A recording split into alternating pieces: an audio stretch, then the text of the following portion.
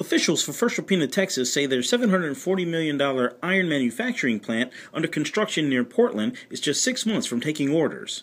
On any given day, as many as 1,300 workers can be found at Voestalpine's worksite just off of Highway 181. Heavy rains in April caused some work stoppage, but the company says things have restarted and that they'll be ready to ship out product by the first quarter of 2016. It's here that Voestalpine, an Austrian company, plans to convert tons of iron oxide pellets into purer, easier to transport hot briquetted iron. Iron in that form can be used in steel production. While work on the site has been vast, construction recently has focused on the facility's 400 foot heating and cooling tower and its 1,000 foot long dock. For the Caller Times, this is Chris Ramirez reporting.